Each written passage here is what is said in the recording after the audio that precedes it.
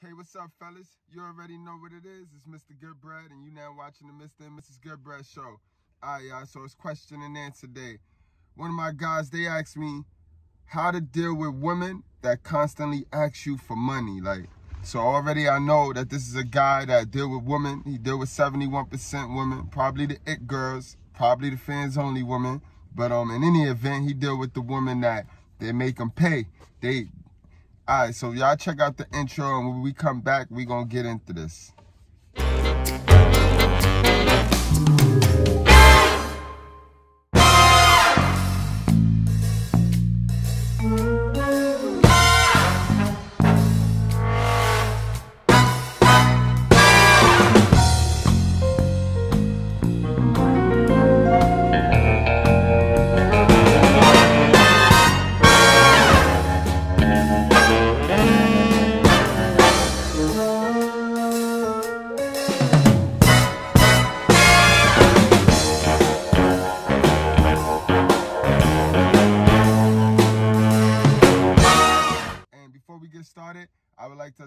Everybody know, disclaimer, I'm not talking about all women. You know what I mean? We, we know we got 71% that I don't give a goddamn about, and we got the 29%. So those are my 29%. Don't don't get triggered, don't get offended. You know what I mean? But in any event, um, my guy, it sounds like it sounds like you're dealing with women that is taking the indoctrination of what's pushed in the media and pushed in society today. You know what I mean? and what's been programmed through what she saw in her house. So all you got to do, guy, no, and you know what else that is? That means that all that means is you she see value in you that you don't see in yourself.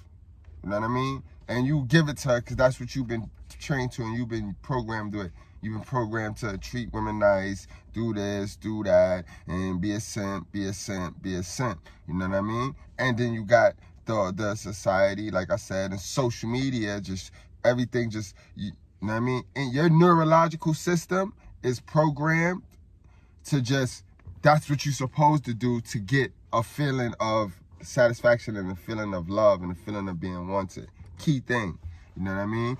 That love word, guys. Love is not existent. That's only in the Matrix. People in the Matrix play that, you know what I mean?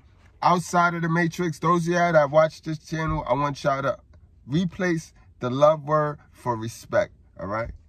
The feeling of being in love. You can love, right? But the feeling of being in, in love is the exact equivalent to being drunk, all right? And you see, you can drink, right? People drink. People drink. And they, and they, and they be fine. But when people is drunk, it's looked at as a bad thing. You know what I mean? Because why? You can hurt yourself and you begin to hurt others, right? So you can love, but once you begin to fall in love, that is a bad thing because you can do what? You can hurt yourself or you can hurt others. So you want the respect all the time. Respect. Don't even play the love game guys. All you want, all you need is a woman to respect you. You don't need a woman to love you, all right, guys? Say it, say it again. Respect me. You don't have to love me. I mean? Women, you got to understand. I'm not going to say women are incapable of loving. The nature in women are incapable of loving. And that's due to hypergamy.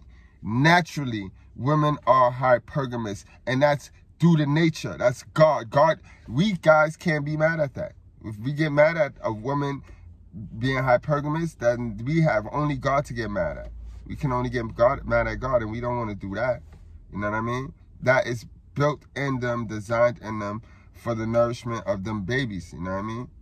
It's a reason why the women have um breast milk. The reason why women produce breast milk and we don't. Like, you know what I mean? We we are really animals. Like, we're just domesticated.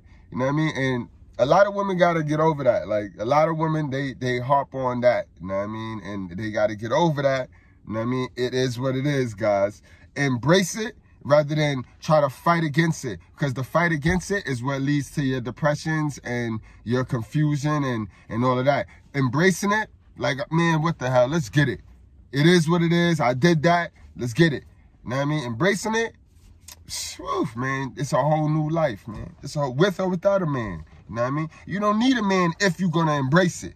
Cause if you're embracing it, then somehow, somewhere another, you then came to your creator like, done. I'm done with that old way. You know what I mean? But fighting against it, you know what I mean? And then bringing up King James and all this craziness, that right there is gonna leave the leave women confused. You know what I mean? So ultimately, guy, not to go off course, you want to deal with 29% women. You want to deal with more practical women. So you noticing that she's asking you for money. So that's a red flag that she's a 71% female. You know what I mean? You deserve more than just transactional love.